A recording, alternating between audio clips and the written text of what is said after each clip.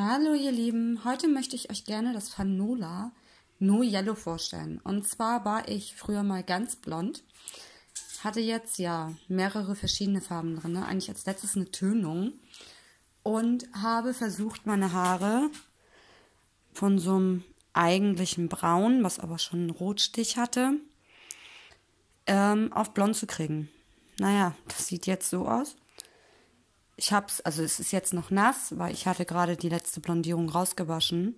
Ich blende euch von gestern nochmal Bilder ein. Ja, und jetzt werde ich meine Haare mit Fanola No Yellow waschen und werde euch das dann zeigen.